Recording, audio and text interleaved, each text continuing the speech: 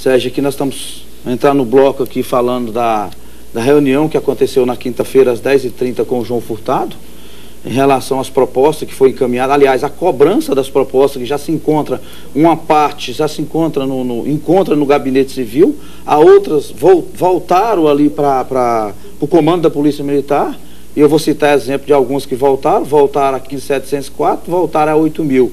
Aí nós temos o CES 137, tem o RPP, tem o, o RPPM, que é o regime próprio de previdência dos militares, né? e outros projetos também, como exemplo da lei é, é, do QOD, onde trata da, da, de número de vaga de promoção. Foi discutido na quinta-feira, nós tivemos aí uma, uma, uma, boa notícia, inclusive, na ocasião foi discutida a questão da database, né?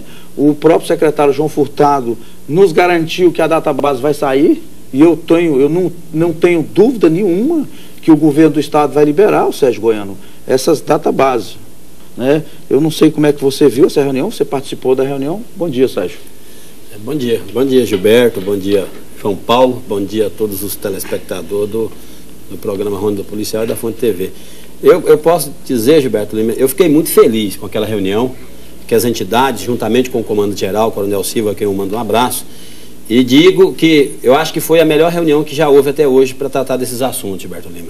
Mas eu, eu vou deixar, não por ser de coisa tão importante como as duas que eu vou falar, mas eu tirar duas situações é, emergenciais é, que foram tratadas lá e eu quero parabenizar vocês como presidente de entidades. Primeira, data base. Essa é a questão do momento. O governo do Estado não pode deixar de atender os senhores, Gilberto Lima, presidente de entidades, que está reivindicando um direito que é do cidadão, que é do cidadão policial militar, bombeiro, do, do cidadão servidor público. Então, eu acho que aquela, aquela confirmação que o, que o doutor João Furtado falou para as entidades de classe e estava falando em nome do governador, nós acreditamos nisso, foi a de super importância. Mas vi outra coisa, Gilberto Lima, que você reivindicou de lá e eu gostei muito, foi a questão da confirmação, que inclusive irá receber na próxima semana, né, nas próximas semanas, o, o, o Procurador-Geral do Estado, a pedido seu, da, da, do, do subtenente Maxuelo, para tratar da questão da promoção das vítimas do Césio. Aquela confirmação ali me deixou muito feliz, porque é um resgate de uma promessa, de um compromisso que os senhores vêm lutando há muito tempo e que parece que vai chegar no fim, no fim é, é favorecido aqueles que mais precisam, que são aqueles que são promovidos. Gostei muito quando ele falou, eu que eu estava no, como secretário, quando vocês me reivindicou essa situação de, de retorno da discussão da, da, da promoção do, do Césio, foi eu que determinei que fizesse as, as sindicâncias, estão todas prontas. Não concordo que daria duplicidade de benefício. É, né? É bisinidos, né? Não dá, não dá isso porque uma questão é, é a promoção e a outra é a pensão. Não, não confunda uma coisa com a outra. Então, gostei muito dessa fala dele e, e da, da, da, maneira oportuna que os senhores presidentes de cidades levou para ele essa questão. Gostei muito, viu, João Paulo? Inclusive, o, o Sérgio, eu não, não, na oportunidade é, lembrando que o comandante-geral da Polícia Militar, o Coronel Silvio, né, que pediu essa reunião com o João Furtado e convidou as associações, Associação dos Cabos Soldados, a dos Subtenentes Sargentos, né, Associação dos Oficiais, a Dona Venúzia da, da, das Pensionistas, a Caixa Beneficente na sua representatividade e também a, a, a Associação dos Policiais Inativos, né, que é amigo é, ali presente, o Pedro Fernandes. Foi de grande importância. E ressaltando ainda que tanto a polícia, o comando da Polícia Militar, o Coronel Silvio, como o comando geral da, do Corpo de Bombeiros, vem fazendo um grande trabalho, ajudando as entidades, né, com esse, com esse intuito de melhorar, de buscar a, a, a aprovação desses projetos que já vem se arrastando.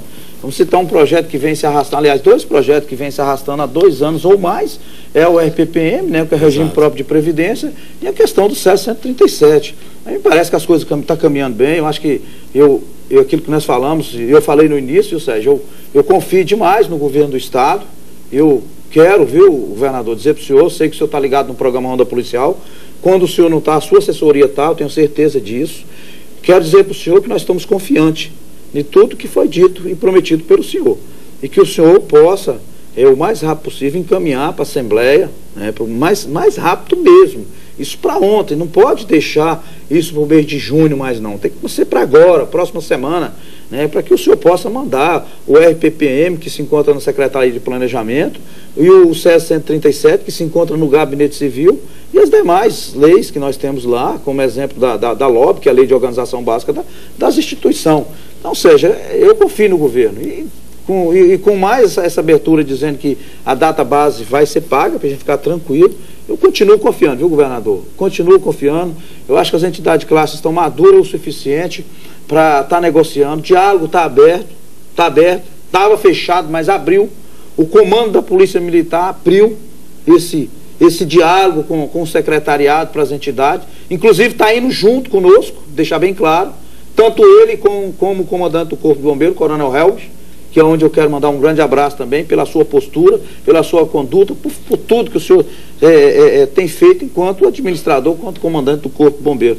Então, parabéns aos senhores pela condução, né, Sérgio? Eu vejo, eu vejo positivo, Sérgio. Eu acho que a gente está no caminho certo, no caminho certo e eu continuo acreditando no governador do estado de Goiás. Tá aí uma coisa importantíssima que você disse, Gilberto Lima, a questão de quem, de quem está falando em nome do governador. Agora sim eu acredito que foi uma atacada muito, muito certeira.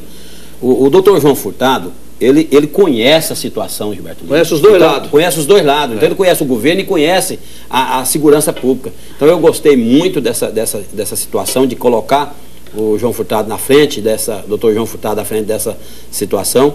E quando eu disse que as outras coisas não são, é, seriam é, tão, tão importantes quanto, Gilberto, e que essas, a questão do, da data base do Césio são emergenciais, mas eu não deixo de dizer que o, a, o nosso, nosso plano de carreira é importante. É promoção, né? né? As promoções, que é a garantia dessas promoções. Vi quando você é, falou lá para o secretário, ó secretário, o projeto que nós trabalhamos, o senhor, quando estava com o secretário, nós como entidade, os comandantes gerais da Polícia e do Bombeiro e todos os policiais que também lutam, né, Gilberto, através das suas representatividades, é, construímos um grande projeto para promover mais de 12 mil promoções, acaba se transformando num projetinho medíocre é, que não vai satisfazer ninguém da forma que está sendo feito. Por isso que eu, eu falo para vocês o seguinte, é bom ter pessoas que conhecem o assunto, parece que vai dar, é, vai dar um dinamismo muito grande essa questão de estar o comandante junto com vocês e também o João Furtado à frente dessa negociação vai ser muito importante. Tenho, tenho certeza que parece que agora as coisas vão romper. E como você disse,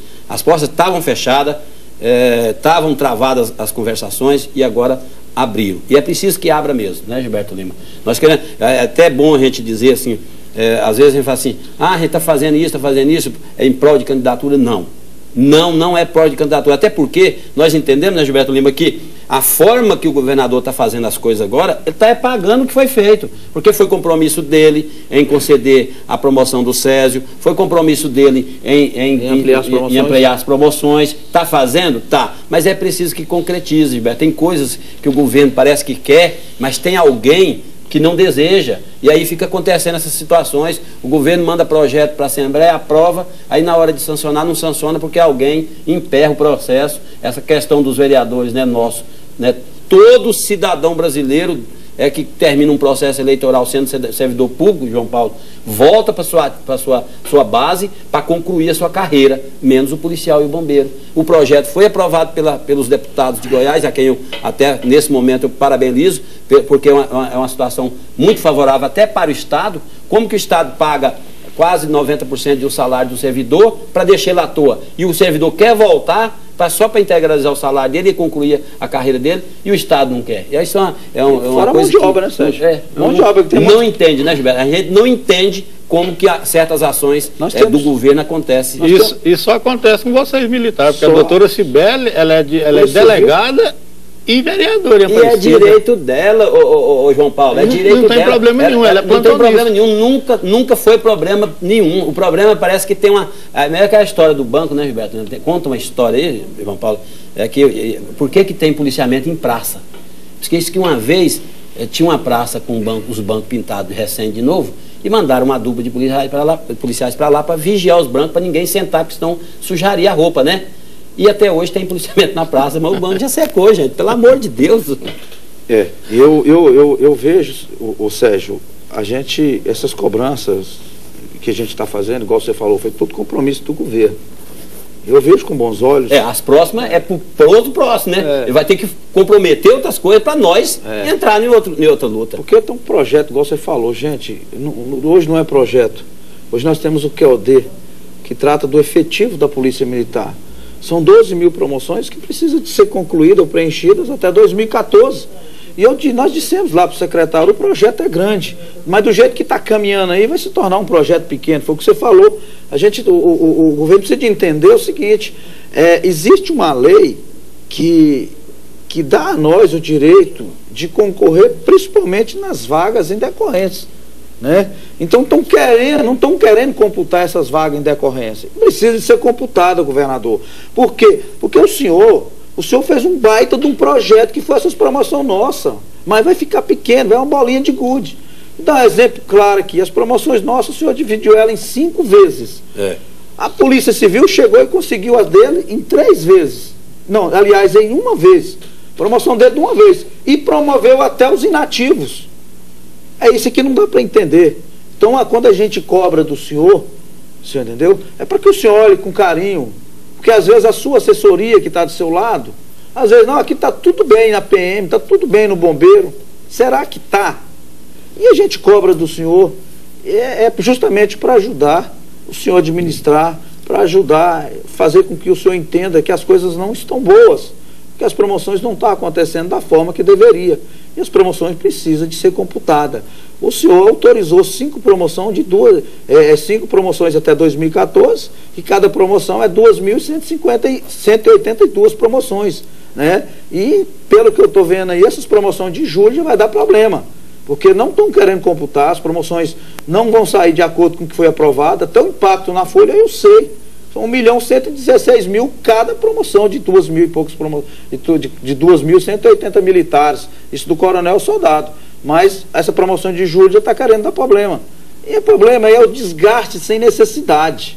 É o desgaste que o senhor está tendo sem necessidade. Mas a falta de diálogo que tinha até então, que melhorou agora, começou a melhorar, precisa ter uma interlocução, uma, uma interlocução, aliás, de uma pessoa que conhece. Então, já que o senhor colocou o secretário João Furtado, que conhece os dois lados, foi a melhor escolha que o senhor pôde fazer. Né, João Paulo?